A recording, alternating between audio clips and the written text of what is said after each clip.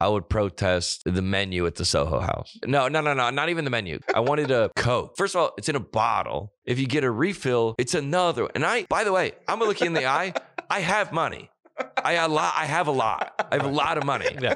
I'm doing great because everyone's like eight bucks. Right. It's like getting a membership to Costco to pay double the price. It makes no do? sense at all. It's like, well, because it's We- cool in here. We, we it's dim, so you can't read. Okay, cool.